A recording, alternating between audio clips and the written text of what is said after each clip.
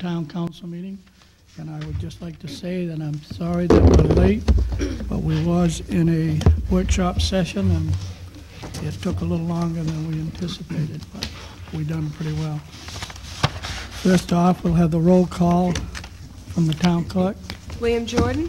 Yep. Jane Amaro. Here. Phyllis Cogsall. Here. Wayne Creelman. Here. Janet Greenlaw. Here. Frank Latori. Here. Nancy Masterton.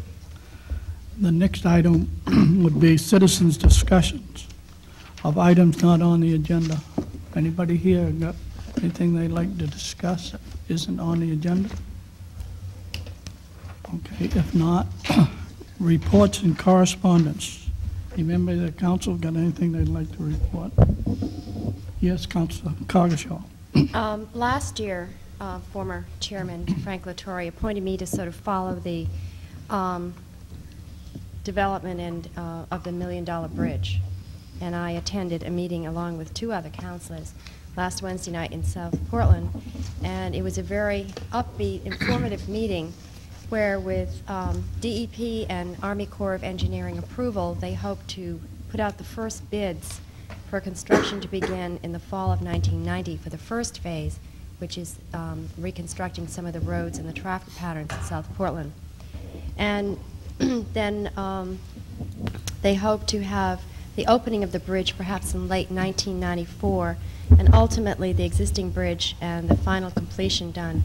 The existing bridge will be removed, and the final completion of the parkland on the Portland side done by 1995. Thank you. Anyone else? I have one thing I'd like to report, that uh, Councilor Creelman had the great honors of being elected to District Two's Cumberland County Budget Advisory Committee, and I think many of you have read a lot about the Cumberland County budget lately, and uh, I think uh, come next year, he'll find it very informative to be part of that committee. Thank you, sir. Thank you, Mr. Chairman. Next on the agenda is a public hearing on One Spurwink Avenue unsafe structure. And uh, therefore, I'll open up to the public. Has anybody got a comment that they'd like to make as far as One Spurwink Avenue, the unsafe structure?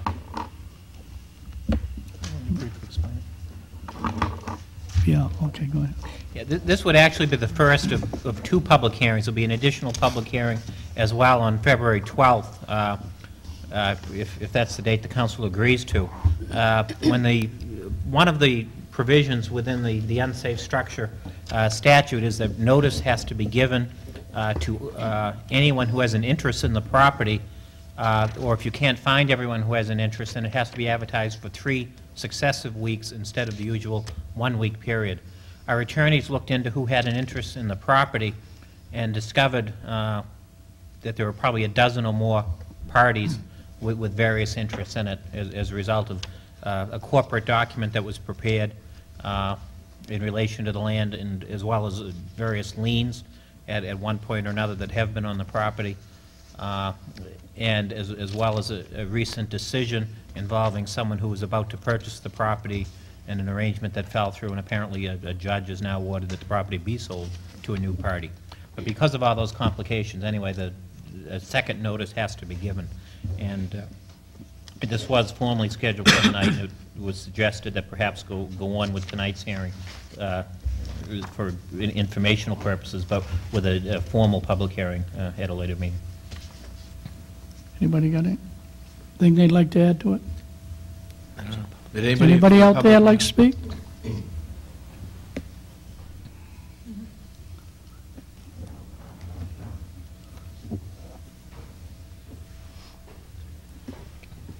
I guess I came here tonight hoping to hear you say what you was going to do, and uh, what are you planning to do down there anyhow?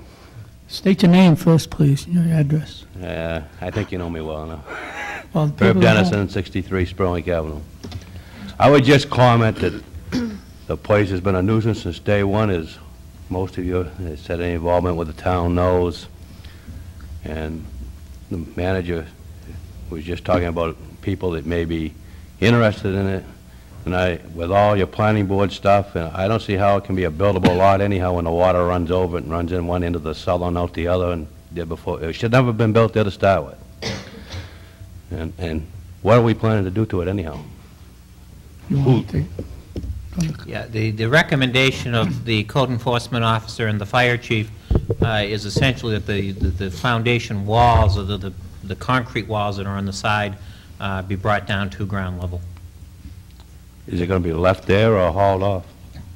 It, uh, Conceivably be hauled off. Uh, No reason to leave it there. I, I I would It'd be- hope. It'd be a it. problem if it was there. It's been a big nuisance, as you know, in the, in the neighborhood. There's been three fires and uh, some good explosions, and I think it's long overdue, and I know what kind of a situation you're dealing with. Uh, You'd do well if you can find everybody that's got an interest in it uh, with liens and deeds. I I realize that, but uh, I think the town's got to do something for the sake of the town. Really a nice-looking approach coming into town. Thank you. It'll be cleaned up when it's done. I don't know just how long it'll take to be completed through the uh, process, but by the end of it, I think you'll find it cleaned up, presentable. Anybody else? Therefore, I'll close the public hearing and move on to item 110, to consider scheduling a formal public hearing on the consideration of One Spurwink Avenue to be an unsafe structure and take any necessary action. What's your wishes? Council Greenlaw. I happened to drive down by that structure on Saturday, and I was appalled by the condition. I hadn't been by there since the most recent fire, I guess, and it's, it's a disgrace, and it should not be allowed to continue any further than we legally need to have it continue. With that, I would like to move that we set a public hearing for this item on February 12, 1990, at 7 o'clock in council chambers, Seconds. Did you say 7 or 7:30? 7:30. I was trying to get it here early.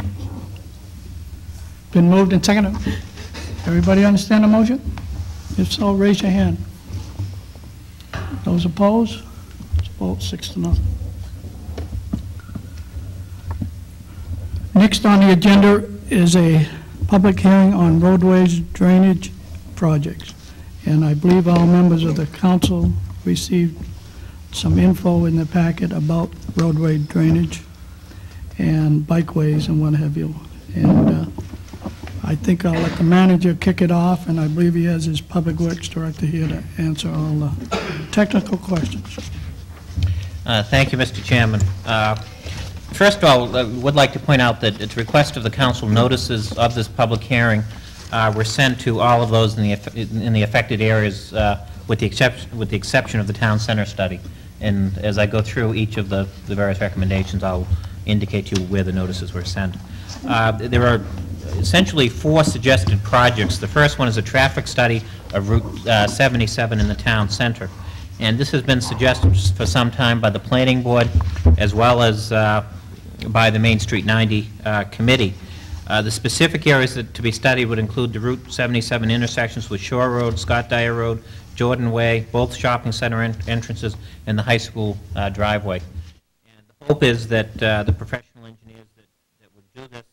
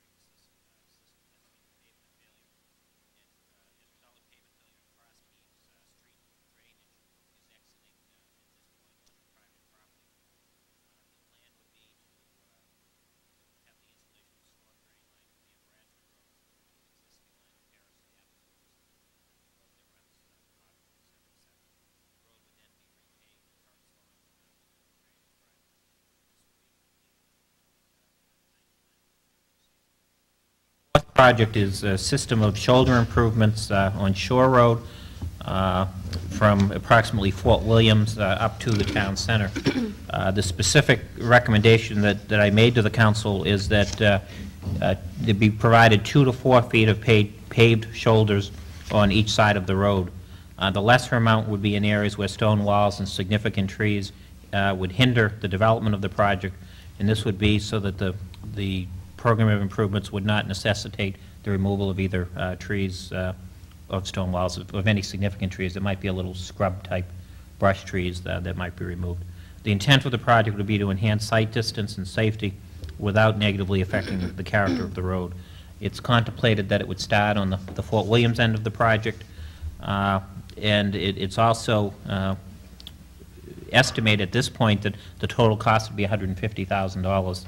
Uh, My recommendation is that you approve this allocation, uh, but provided that nothing happened until a second allocation is given, uh, which would therefore, uh, if it was approved, delay the work uh, until early in the 1991 construction season.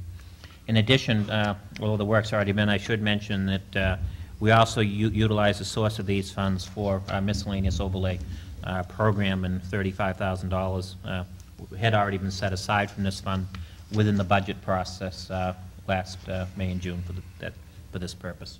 So those are my suggestions, uh, recommendations for projects to be funded with the fiscal year 1990 allocation. Thank you, Mr. Chairman. So with that review and a quick review, we will open it up to a public hearing. And does anybody out there wish to make a comment one way or the other as far as what we have outlined here? Yes, sir.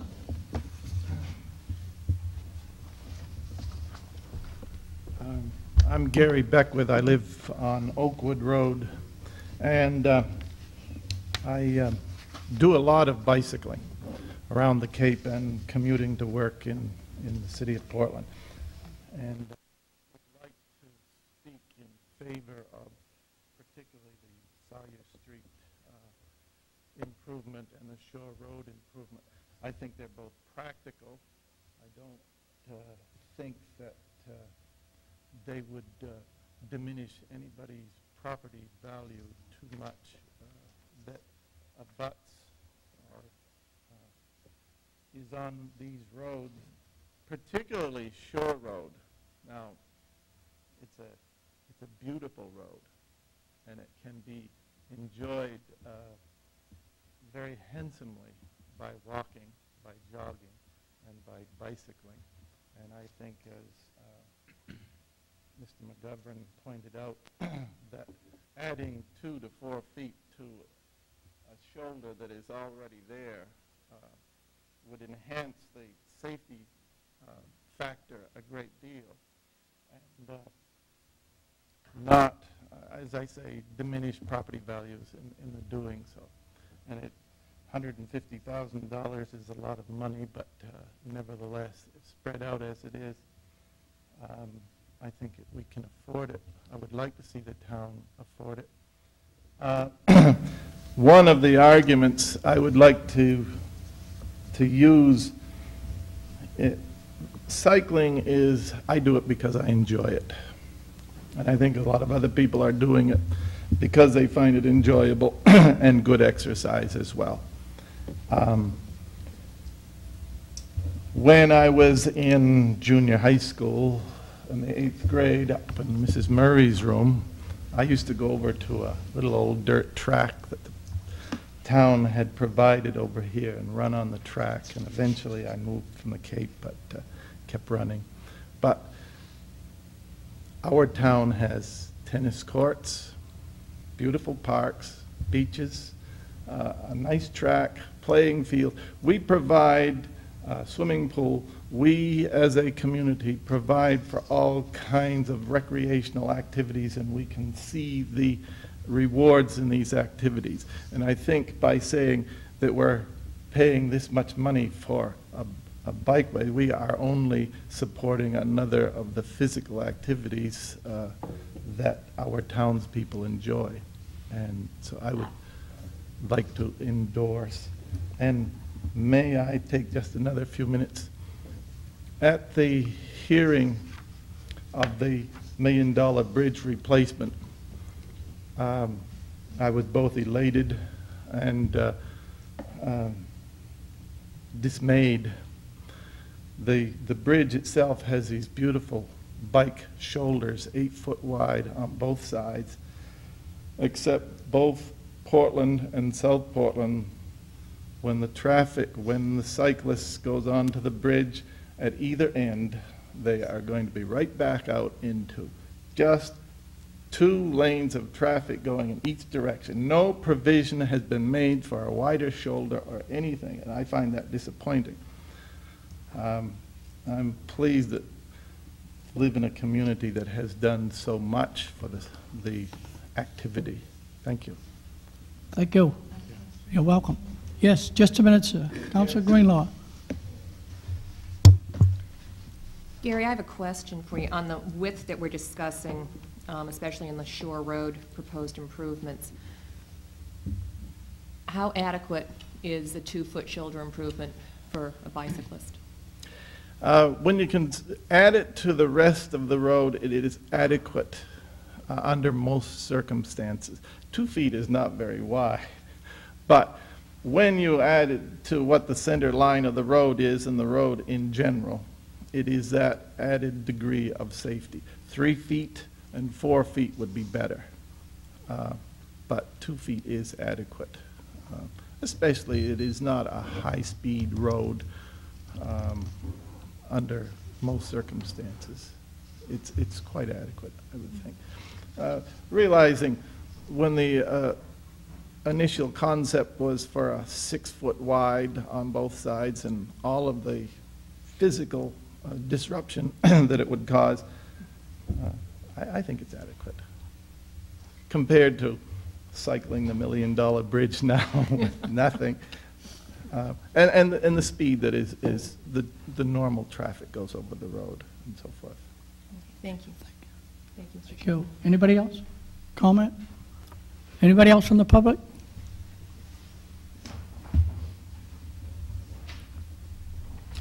I'm Mallory Garrison. I live at 1111 Shore Road. I think Shore Road is beautiful also. I kind of like it the way it is. Um, I walk it almost every day. Um, I'm concerned about the speed. I think if we broaden it, it's going to make it more attractive to go faster. We go awfully fast on the road as it is. And um, the other thing I'm concerned about is that particularly where I live, it's right where the water comes up to the road. And it's a nice place to stop and take pictures and pick flowers and walk on the rocks and do those kinds of things, which is fine. Um, Except if it gets to be a whole string of cars. If there's going to be more space, there's going to be more cars parking. Um, Those are my two main concerns. I think that, that um, you can walk Shore Road. I, I don't bike it, so I think it would be hard to bike it. But you can walk it. If, I think if we control the speed, it would be perfectly safe to do both things. Okay. Anybody got a question, comment? Anybody else from the public?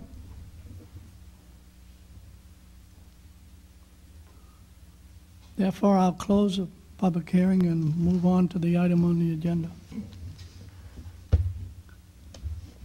Item 111, to consider a public hearing, comments on the proposed allocation of roadways and drainage drainage improvements, funds, and take any necessary action. Mr. Chairman, just, to- Councilor Torre. just a point to refresh my memory again. Right now, we're just voting on the fiscal year 1990 acceptance. Is that right, Michael? That's what's proposed, yes. And how is it again that we vote in January when we're already halfway through the fiscal year 90? You've already, the funds have already been appropriated for roadway and drainage projects. Uh, The question is just how, how, what specific uh, projects are those allocated to? But why wouldn't we have this list, say, in uh, July, on July 1st, when we're just beginning the fiscal year? Uh, The primary reason you didn't is because a lot of this depended on how much uh, was left remaining after the Broad Cove Drainage Project and the Sawyer Road projects were done. And it was held off specifically allocating those funds until those were known, as well as to uh, uh, hopefully develop a gr- a greater consensus on the the Shore Road, uh, road improvement issue. Council deferred it back at the time, uh, the budget. Then, to get to that, and I think we've all had some phone calls and, and had some concern expressed regarding that one particular point here.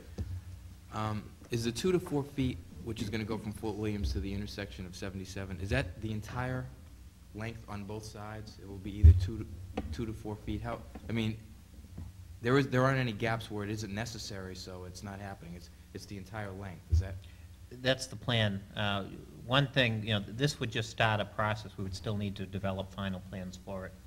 Uh, You know, perhaps there are a few areas that it would be found that the two feet couldn't be done for whatever reason, but as it now stands, the, the concept plan is to do four feet in most spots and two feet in those areas that, that are particularly sensitive.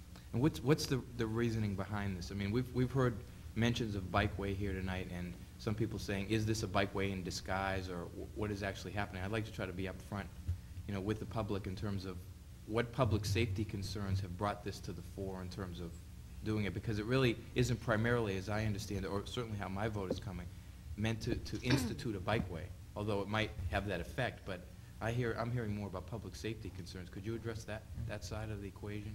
Yeah, my sense is it's to add, you know, I use the term, an- an added measure of safety uh, for, for bikers, for pedestrians, as well as for, for people motoring uh, on Route 77. Excuse me, on Shore Road, when do any good on Route 77? Uh, Essentially, it, you know, by, uh, at the same time, we'll accomplish a little drainage work, we'll also remove a little bit of ledge uh, that uh, inhibits sight distance. But at, at the same time, time uh, doing everything that we can to maintain the the present character of the road. What, what is the amount of taking of land, as far as you're concerned? I know you said major items like uh, rock walls or big trees, et cetera, will be left undisturbed, but aren't there other bushes, flowers, and, and other things that will in effect be taken? Yeah, it, it's contemplated to do it all in the right-of-way. There there wouldn't be any taking of land.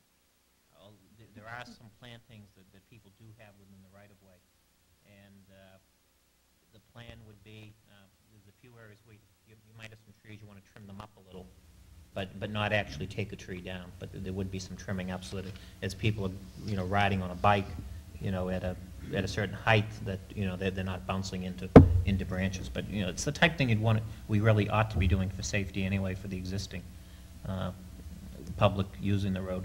Uh, Beyond that, uh, it, my, my sense is that, that there is a little bit of scrub brush, what I would call scrub type, that you see in some of those sections, uh, that we would want to, uh, cut down. But for, for, but for the most part, particularly on that, it's interesting, on the curvy section, you think of it as, as very narrow, but there's actually quite a bit of flat, flat land, uh, in that section, and no problem at all getting it through most of it. There's a, there's a few spots, uh, where we'd have to do a little bit of filling, uh, in some spots where the road falls off, uh, particularly across from Delano Park, uh, around entrance, two and three, I believe. Uh, Up, up this way, uh, there are some tighter spots, and, uh, you know, there's, there's, I know there's a tree on the corner of Julianne Lane that, you know, obviously no one wants to see go. And, you know, if we have to narrow it up a, a little bit more than the two feet there, there we will. Uh, Beyond that, uh, by the Rands residence and the Haywood residence, uh, there are some lilacs. uh, And, you know, again, uh, you know, it, may have to be a little trimming there, but, you know, there's no intent to uh, take any of the lilac trees. Thank you. Anybody else? Council Cogshaw. Before you um, begin any of this process, are you going to have the um, right-of-way surveyed so we'll know exactly where in the right-of-way the road falls? I don't think we would have it surveyed. I think the state, uh, about 15, 20 years ago, uh, did a, did a right-of-way survey uh, on uh, Shore Road, and we would uh, pull that out and look at it and ensure that uh, we did stay within the right-of-way. But that does show where the actual road is in reference to the right-of-way. Yes. And then any subsequent um, resurfacing that's been done since the, the state's research um, hasn't moved the road over very much. State doesn't resurface very often, so. uh, I- You had to That's- do We know that. No, I, I don't think uh, the road has moved out. Do you know when the last time that was surveyed, Bob? Mid-sixties? That's correct. That is correct. I remember when we done it, we done some other roads in the town at the same time. But I think the right-of-way might be a little different than where the actual road is. Especially on a couple of those turns, bound to move. No question. And, uh, Council Green? My, my question for Mr. Malley is basically, um, what's going to happen to Shore Road uh, if we don't do this project with respect to increasing the shoulders? Uh, Is the road itself in, in uh, such a condition, I mean, at the edges or anywhere else, such that if we don't um, allocate this $150,000, is the road in jeopardy of uh, crumbling or that type of thing? That, that's my first question. I agree with the manager that it's more of a safety issue. The road itself is in good condition, the base is in good condition.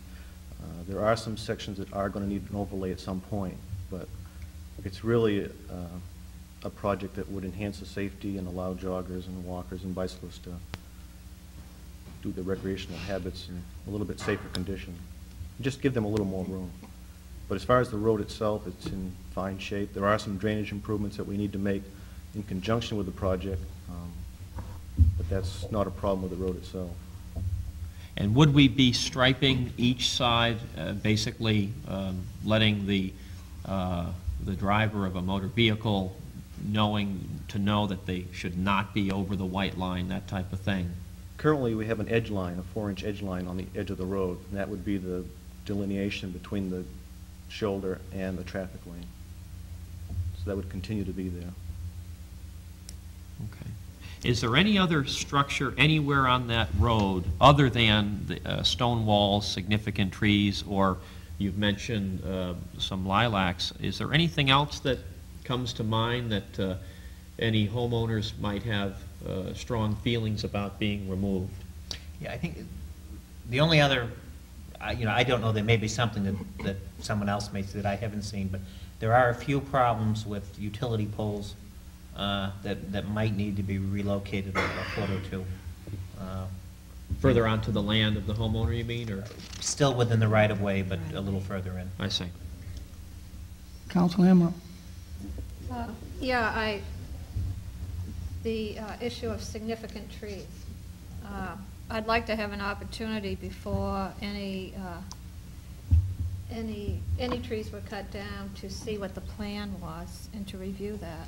Uh, Because I think there is concern in the community that uh, maybe we're rushing into some of these projects uh, without giving enough consideration uh, to uh, the existing uh, trees and other, uh, other structures that make this a rural community, as some people want it to, to remain. I think we all do.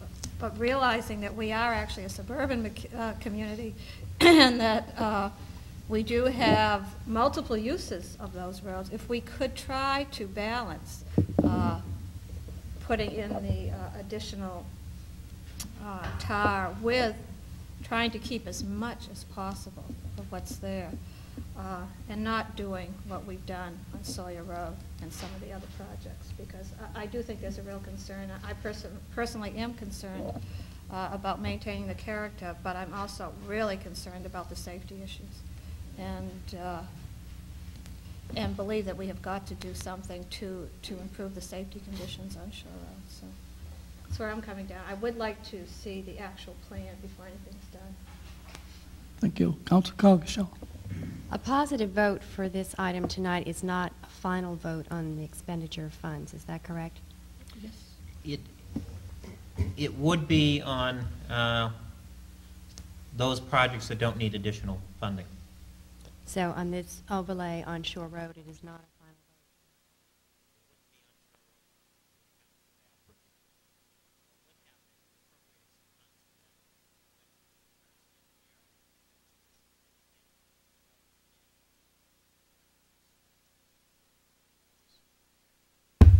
vote. Uh, But we would, I, I would see it if you voted to move ahead on the traffic study, the Sawyer Road and the planning for Waterhouse Road, I would consider that as if you had voted those funds. Like, because those would be fully funded under this vote. The Shore Road Shoulder Improvement Program would not be fully funded. And would have to come back for an additional council vote, but, but I would see, in- if you voted to allocate this sum, to incur some expense between now and ne- your next vote on uh, design. But not much, but few thousand, five, no more than five. Anybody else? Council Greenlaw? I have a question for Mr. Malley. On the Sawyer Road situation, how wide, it- so we're talking a four-foot shoulder, how wide is the road pavement there?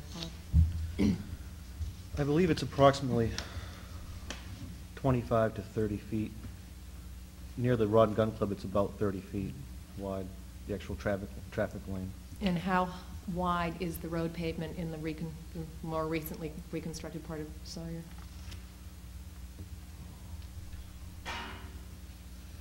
It's not a 30 feet? test. No, 30. 22, 4, and 4, 30 It's altogether. 30 feet in total. We had a four-foot shoulder on the newly reconstructed section, four on each side. I think it's two 11-foot travel lanes.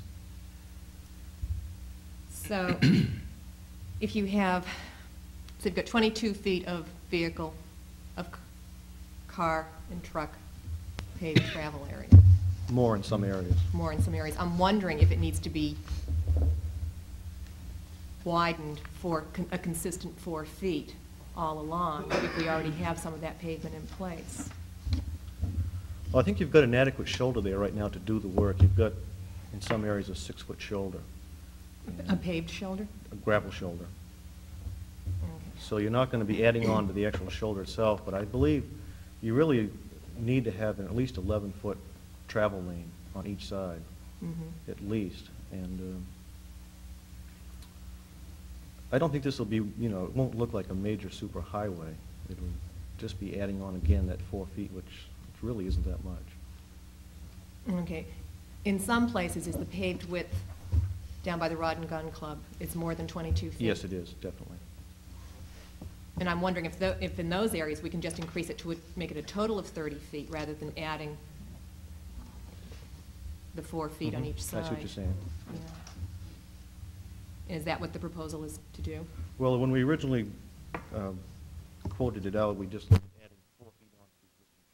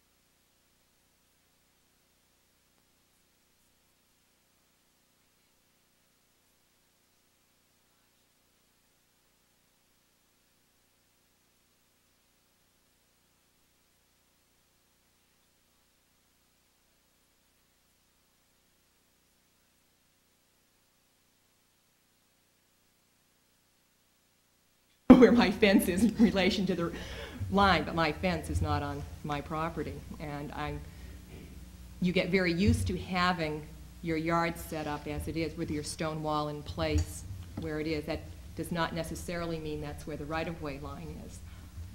I hope the citizens will realize we are not proposing to demolish any existing stone walls with this plan, even if they are within the right-of-way. It's my very strong and fervent hope that we can find a way to accommodate two feet of shoulder pavement on each side without jeopardizing at all any of the existing stone walls.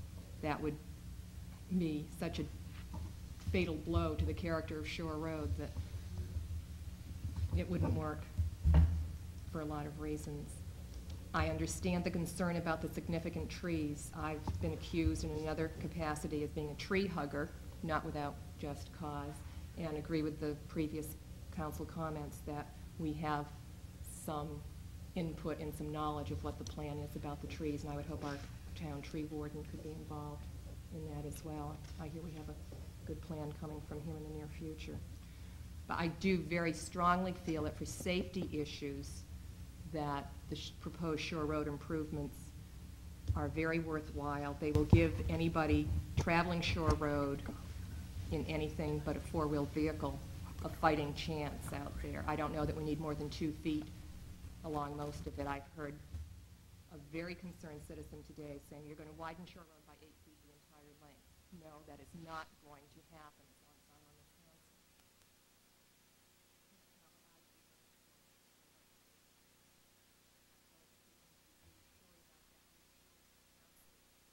very concerned about the character of Shore Road. It's- I love that road. I drive it every day. I absolutely love it. I drive Shore Road.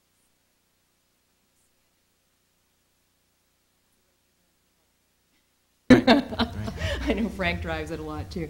Um, It is the rural character of Cape Elizabeth, but as Councilor Amaro said, we are more of a suburban town, especially in that end of town, than we are rural, and I think we have to address for the entire citizenry the fact that we have suburban traffic and pedestrian circulation on that road.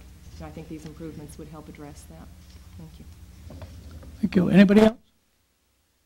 I would like to speak in favor of the idea proposed by Councilor Amaro regarding that I would be ready to move acceptance of this packet as it is proposed, but I do feel that we need another stopgap for the council to maybe approve this conditional upon our looking at the plan a little more closely and, and approving that plan. If we could see it here, maybe in some format or however, however it could be, just it needs a little more scrutiny on my part in order to be able to just make sure that, in my own mind, it doesn't negatively impact the character of that road, because it's a prime concern. I understand the safety issues. I think we're helping out some. We're not going the whole, the whole bikeway route, but this will help some, and that's good. But I think we still need, perhaps to avoid another Pickett Street situation, us to look at it one more time to, and, and and voice approval of that. So that I'm, I'm, if, was that, I believe that was what you were saying, Counselor. So I, I'm, I'm wholeheartedly supportive of that. Thank you. I tried to avoid-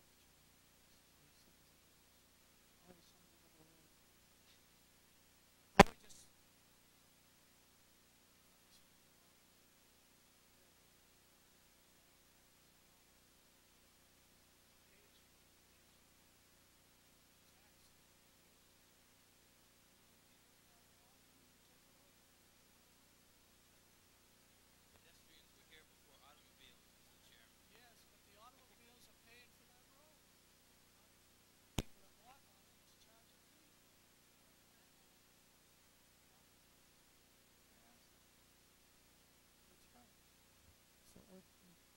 I just have one, thing. is there any fences that you would be concerned about? That's my point. I agree with everything that was said here, that I'm not going to end up with another Fickett Street, and if there's any tree, bush, lilac, what have you, that can be saved, I want to see it saved, and if they get down to a foot or two feet, fine. Probably address it. I think I've even said tonight if there are a few areas.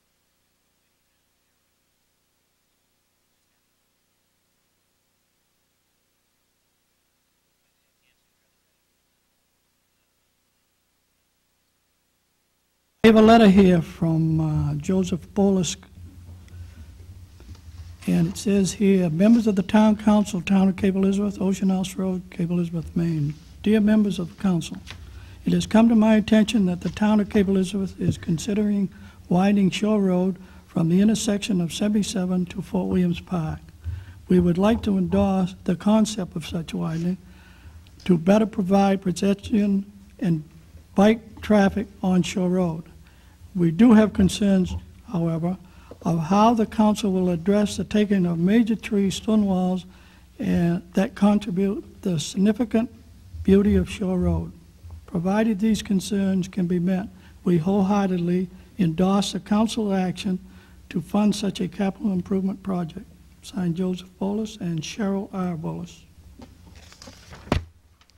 So I think what we've heard pretty much is everybody's interested in the safety part of it, and uh, if we can do it without destroying the character of the road. But I do want to review it like the rest of them to see what's being done before we move ahead. And I believe, Mr. Malley, I don't know if anybody has any other questions. Yes, Councilor Creelman. Yeah, the only, the only point I wanted to make, and that is um, that this evening, I think the, the use of the term bikeway uh, has been thrown out several times. The, the council had a very uh, impressive and sophisticated presentation last year from uh, Mr. Hunter and his associates with respect to uh, a proposed bikeway uh, on Shore Road. And this, uh, this project was much greater in scope than what we're calling this evening roadway improvements, shore road shoulder improvements. Um, The bikeway, as proposed by Mr. Hunter and his group, uh, had a price tag in excess of a half a million dollars. And I think that was a conservative estimate. Now, both sides of the road, I think it might be, perhaps three quarters of a million dollars. So I, I just hope that people realize what we're talking about this evening is an improvement to Shore Road.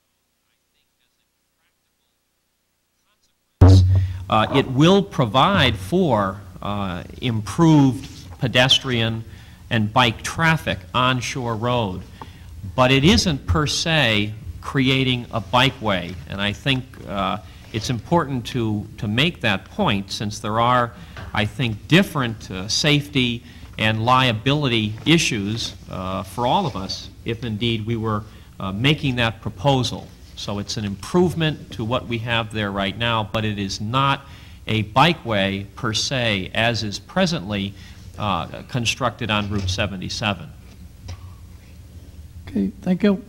Anybody else? Yes.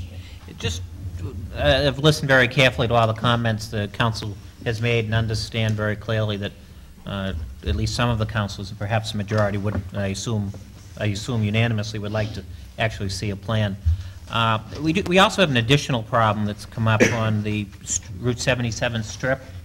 Uh, The Maine Department of Transportation uh, official position, even as of this date, is that they, they expect us to pick up uh, 20% of the cost.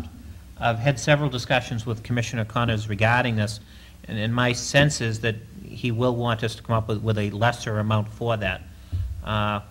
I think, you know, in, in recognizing we may have to come up with some funds for, uh, for the strip, and the council would have to approve a memorandum of understanding on- on that very necessary project, that what you might like to do this evening is to approve the, uh, the first three projects, the town center, the bikeway on Sawyer Road, and the Waterhouse Road, and to, for Shore Road, only uh, approve continued, continued planning on the project at an amount not to exceed, I mentioned 5,000 a few, few minutes ago, but thinking about it more, perhaps up to $7,500, uh, with, with the understanding that, uh, that, that enables planning and, and requires uh, the plan to come back into you for approval, and, but it gets the process underway, and it, it makes a, you know, sort of like a policy commitment to the, by the council that this is a project that you, you want us to continue studying and moving ahead on, but you're holding off on a final vote until you see a final design.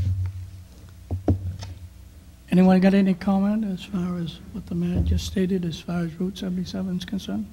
The utilization of the savings realized by the 50,000 subtract whatever we okay you is going to be possibly earmarked for something else, though? Is that what you were saying? What I was saying is, there's a chance you're going to have to come up with some funds for the overlay of the Route 77 strip. I think a project that unanimously, everyone seems to recognize in town, needs to be done. Uh, You know, this would be the, this pool of funds would be the source for that money. Uh, And essentially what I'm suggesting is uh, that you, you not, since Shore Road shoulder improvement's going to be coming back to you next year anyway for an additional uh, funding, you look at, if you have to take X number of dollars this year, you look at next year's funding and, and try to make the Shore Road whole then and perhaps delay one of the other things that had been proposed for next year. The, the problem is the state's, uh, you know, really holding us on, on the Route 77, and I, I do if, if you allocate all these funds, you, you could have a significant gap in uh, trying to get the overlay of uh, Route 77 done. And I'm not ready to, you know, publicly state the amount, uh, because I want to keep the pressure on the commissioner to pay for all of it. Counselor Greenlaw. My concern would be that the amount um, required from the town for the Route 77 overlay would not make up the difference. I think this is what I'm hearing from Councilor Tory also, that there would still be some money there that, you know, would be more money than we need for the Route 77 overlay, plus the engineering conceptual work for the shoulder improvements we've discussed for Shore Road. And I'm not at ease in having money just sitting there. And my proposal would be to have that money stay in an account for the Shore Road shoulder improvements if there were an excess. Counselor Emerald. Uh, I'd like to go beyond that and suggest that we allocate the funds as they were initially recommended, uh, that these, this was basically the way during budget time that we agreed to appropriate funds for road improvements in Cape Elizabeth. We did not consider any money for 77. We uh, were under, we had assurances from the state that that was their responsibility because they let it go as long as they did. I don't want uh, the State Department to feel that there is money available in our budget for that project. Uh, And I'd like to see us negotiate under, uh, with that in mind. However, if it comes down to whether the road gets done or not, and we do need to make a contribution, the manager could come back to us uh, at that time uh, and then ask that, uh, whether we would be interested in reallocating some of these funds. But for, for right now, I'd like to appropriate them just as they were originally uh, suggested, without any consideration uh, for paying for what the state uh, should be doing on uh, Route 77. Anybody else? Counselor Greenlaw. That sends the message that I would like to send to the state. I agree with Councilor Amon. Counselor Tory. I just wanted to say that what, what I'm coming down to from this whole evolution of the discussion for me is I'd like to see some more engineering studies regarding this proposed expansion. Because I'm, I'm a little bit leery that some of the things that the gentleman was alluding to is kind of creating this quasi-conceptual that maybe it might be, maybe safer to drive by. In fact, which might encourage a lot more people to say, you know, this is a safe bike, this is something really, really troublesome. But right now, we're not seeing that money could be, in some ways, we look at it, we see it as creating a problem. I'd like to see, I'd like to allocate funds to address some of these kind of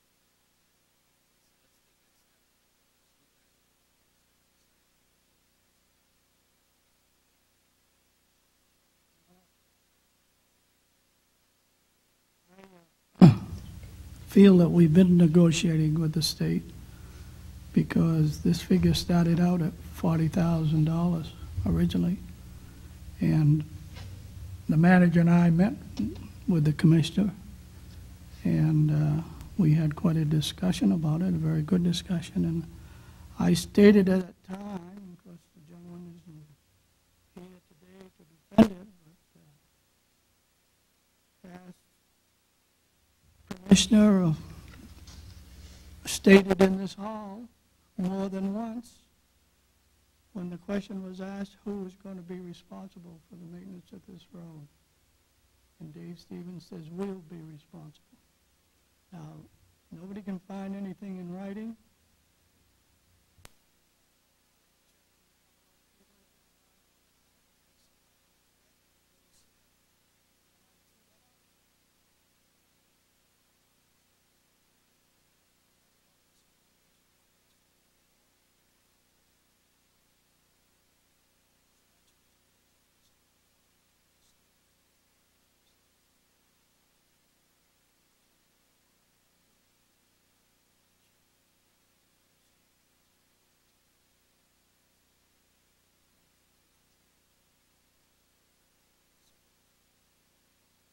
We have tried to negotiate this, and I think it's come down pretty much to that. Now, they may get hard-nosed and do something different, but uh, I think we've got to be careful on just how we go here and how far we're going to push people.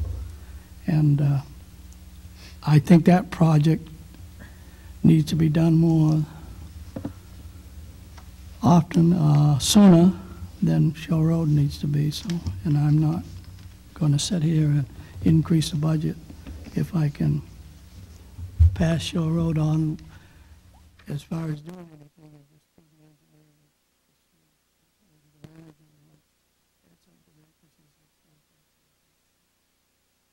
Was.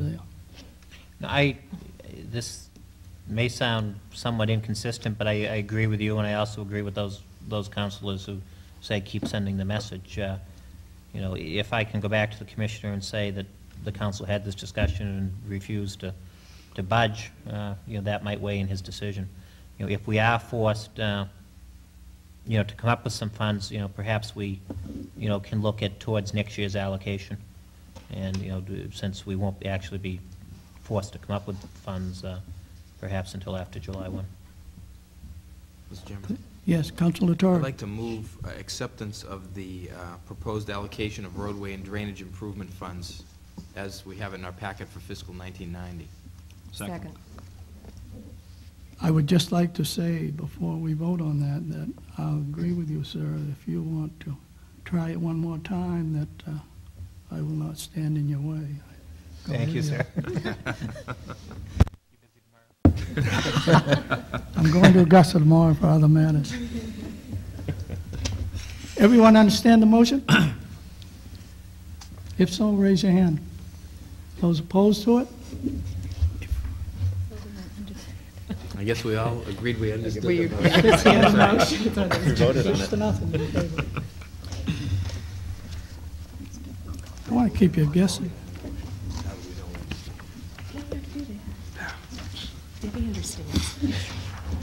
Next on the agenda is a public hearing on general assistance ordinance, and I'll turn that over to the manager. Yes, about once every two years, the, after the legislature meets in its uh, regular session, uh, Maine Municipal Association updates its model general assistance ordinance. Uh, Essentially, the state legislature tells us how to run a general assistance ordinance and gives us almost no leeway in the operation of the program. I could go into a lot of details on uh, what's in these, uh, if anyone desires.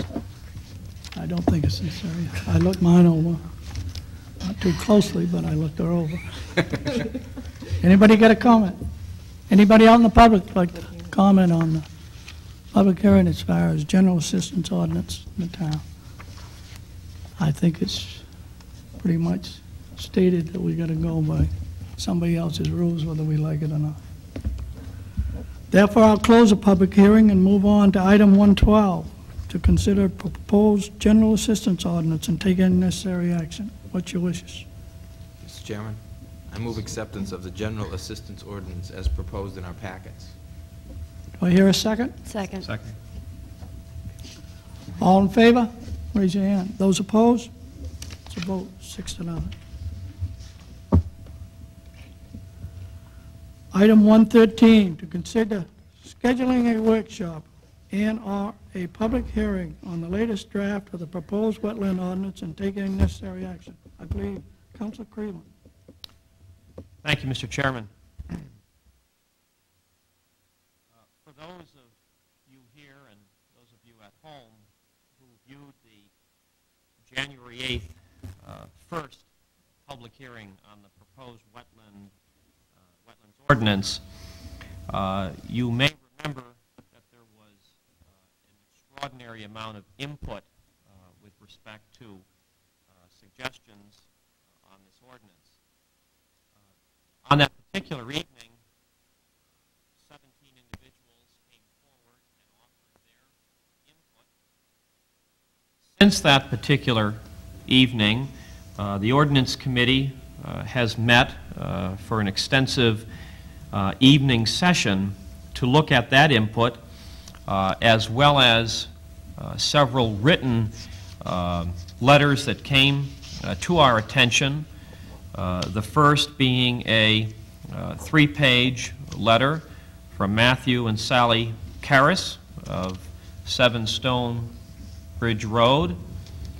Uh, The second document, a three-page letter forwarded to us by uh, the Sprague Corporation with respect to uh, their concerns uh, regarding the proposed ordinance. The third letter, a four-page uh, document uh, forwarded to us uh, from Larry Clough of 58 Stony Brook Road.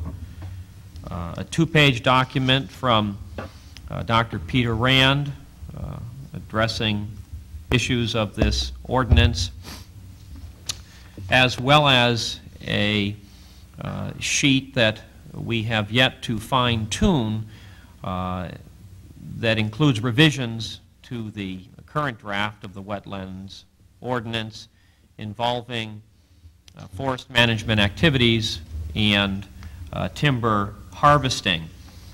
Um, All of these uh, pieces of input essentially filter down into uh, six major areas uh, that need uh, further work.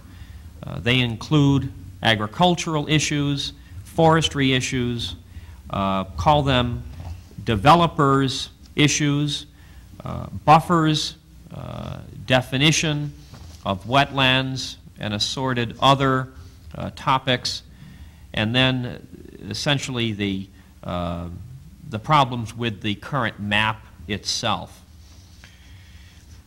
Based on, uh, again, the uh, extraordinary amount of input, the council will be meeting uh, on Wednesday, uh, January 31st, uh, between 4:15 and 6:15, for a two-hour televised uh, workshop that will include the town council, the manager, the chairman of the planning board, chairman of the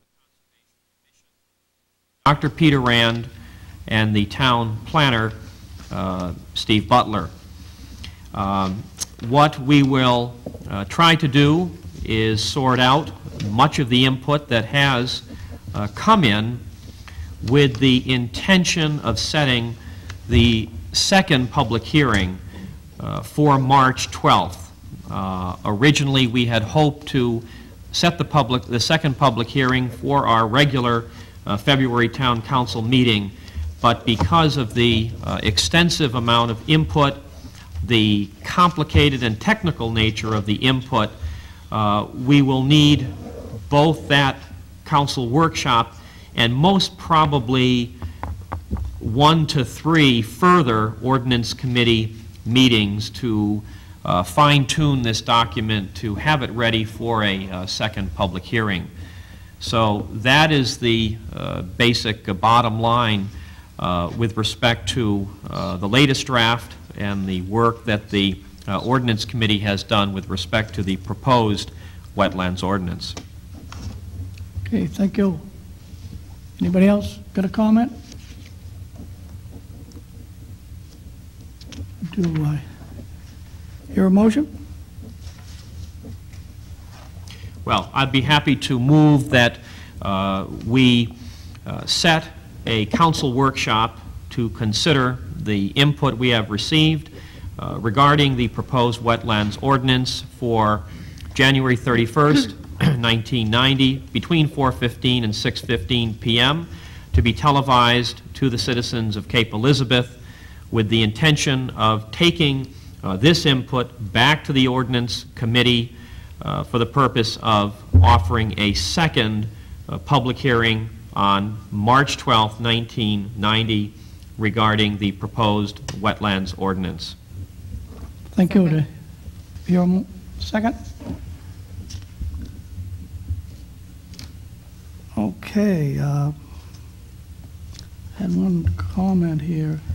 If, I understood it, if we didn't get the proper help as far as televising it, that we was going to tape it and play it at a later date? Is that correct? That was our intent, Yes. that uh, we'd have an opportunity to uh, send it over the air, over Channel 38, uh, for review of all.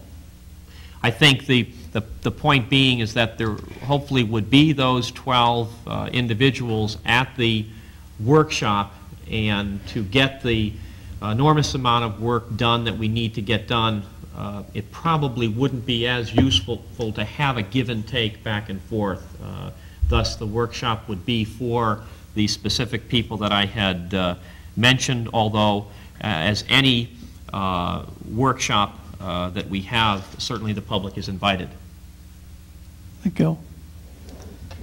Yes, Council Greenlaw. I think the understanding is that it will be televised and/or taped that night, and even if it is televised live that night, it will be replayed later for the citizens. It- I view this as a very helpful educational workshop for myself as a counselor, and would imagine any citizen in town could view it in the same way.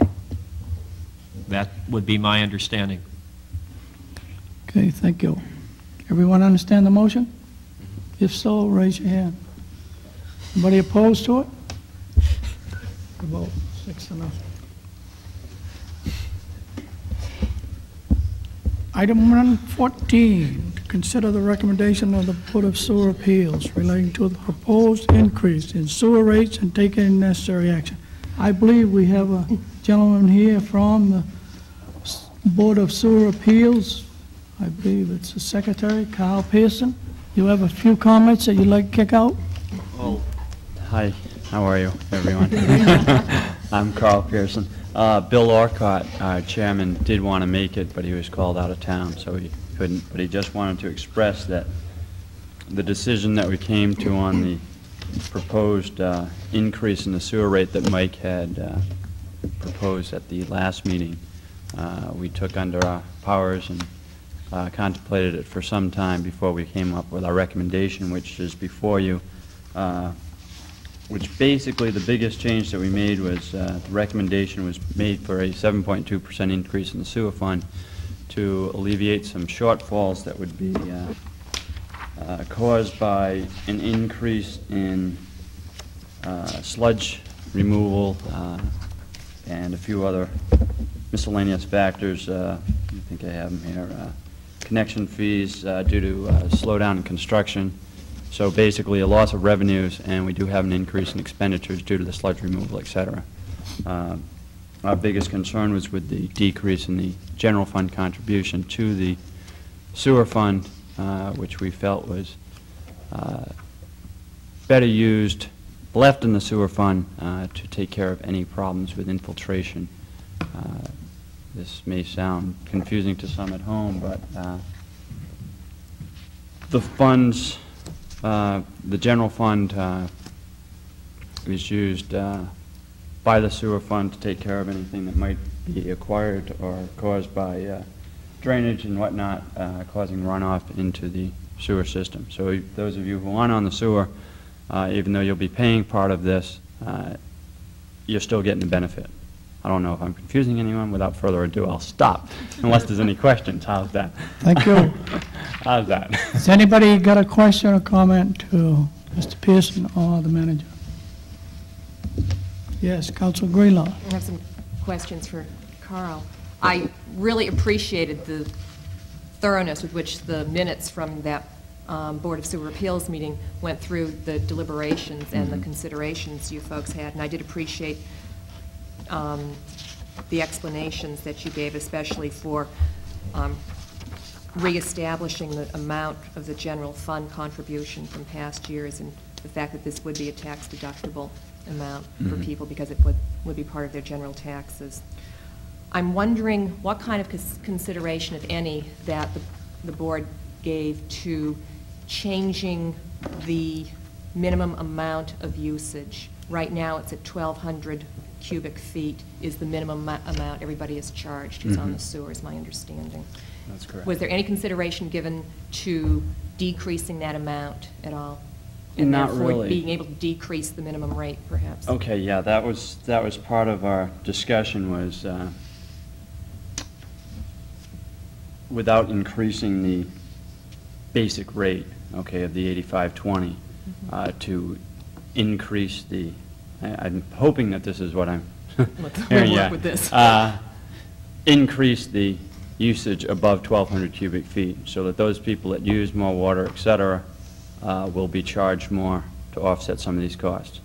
Is that what you're looking at, or are you looking at? That's what I'm the Portland driving Water at, but I'm looking at saying that there would be, I'm not sure what the rate might be, but have the cutoff not be 1,200 cubic feet, have it Okay. be 1,000 cubic feet perhaps, or 800, whatever. Okay, uh, and that, we didn't consider that, we were, all right, in our discussion, we found that of that basic uh, rate with the 1,200 uh, cubic feet, not many people were exceeding that.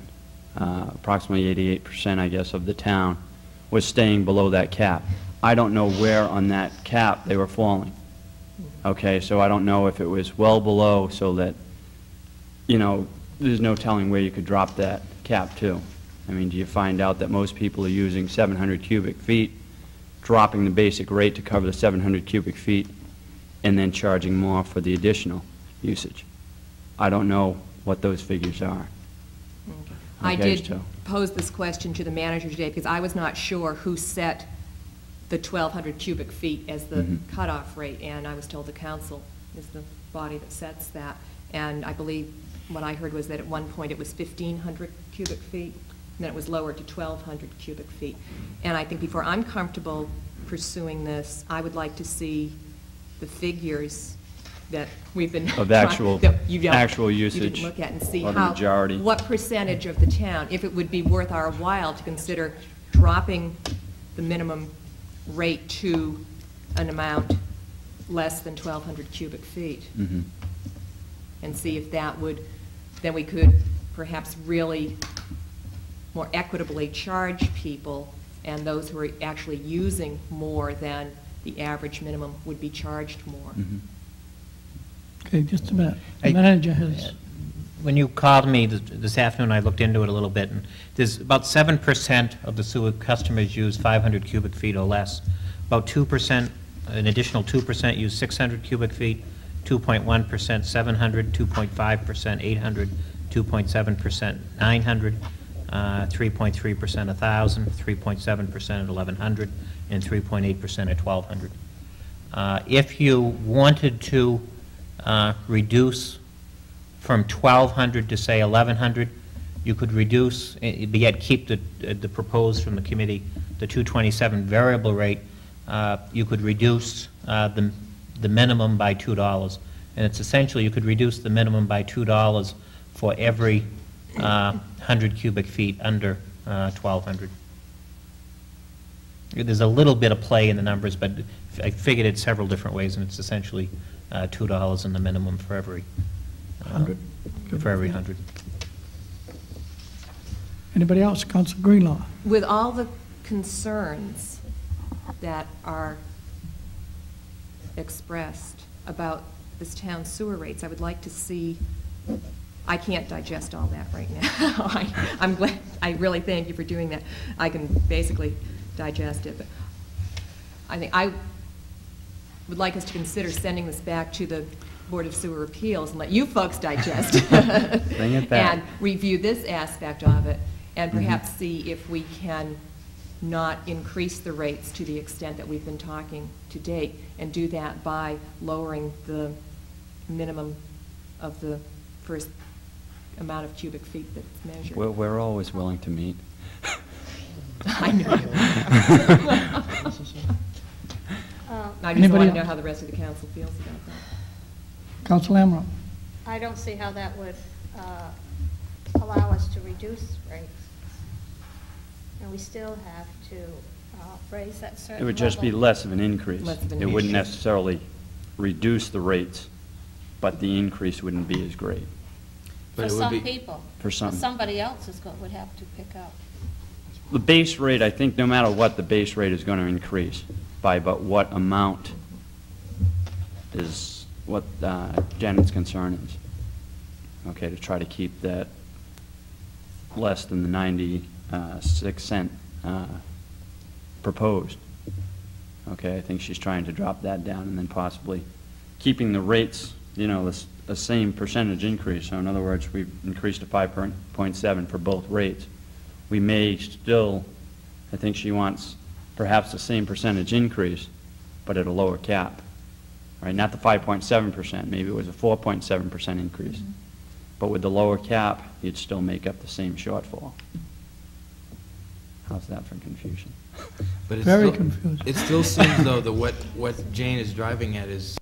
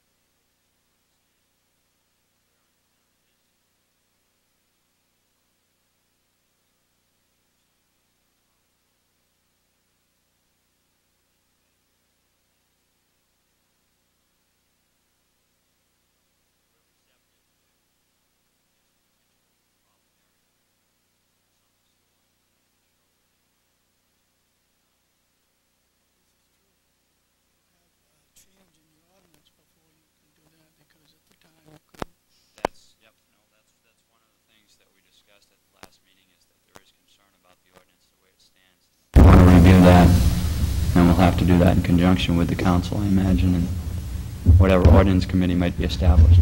Have you uh, gone as far as to come up to a recommendation to the council? Not at this time.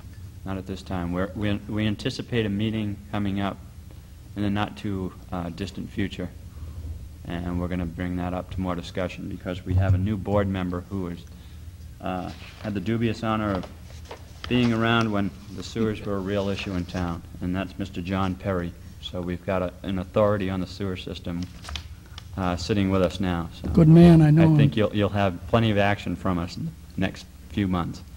Few months. I was thinking a few weeks. Please. We haven't met in several months. Wow. We've we got to wanna- warm up. We want to get you moving. We'll get there. Okay. You understand where I'm coming from? Yes, I do. You'll take it back to your committee? I will do so. I believe there's other concerns here. They want to nod their head, or raise their hand, or say yes. Guess there are no concerns More? on them. No? Thank you. Okay. Item 114, to consider a recommendation from the Board of Sewer Appeals relating to a proposed increase in sewer rates and take any necessary action. What's your wishes? Mr. Chairman?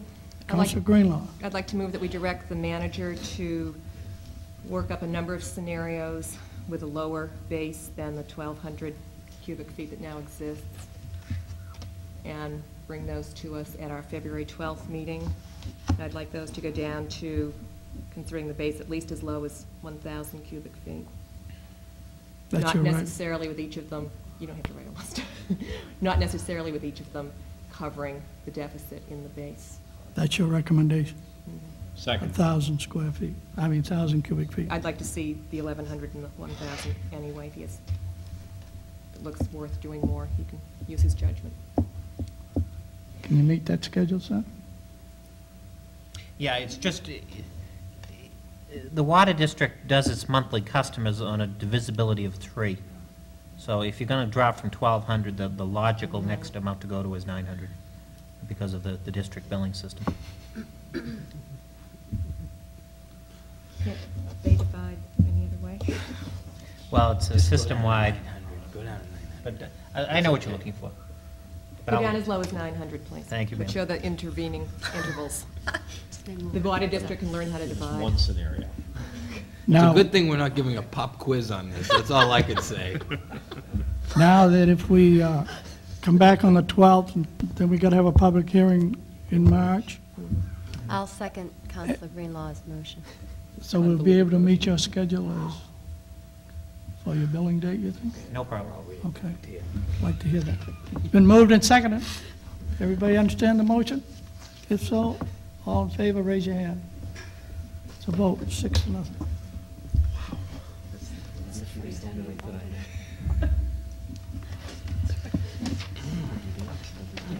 Item 115, to consider permitting the use of Fort Williams Park for three Portland Symphony Orchestra concerts and take any necessary action. Now, are we just handling this one at a time, or do we have the chairman of the Fort Williams Committee would like to make a comment, and then we take them out one by one? What is your wishes, sir? You have no problems with the PSO dates? Okay. Do I hear a motion that we accept those dates? So moved. Second. Does anybody want to read them off? Uh, I move that we uh, approve the dates of July 3rd, July 13th, and July 27th for performances of the Portland Symphony Orchestra at Fort Williams. Been moved and seconded. Yeah, with the customary parking uh, fares. Everybody understand the motion? If so, raise your hand. Those opposed? It's a vote, six to nothing.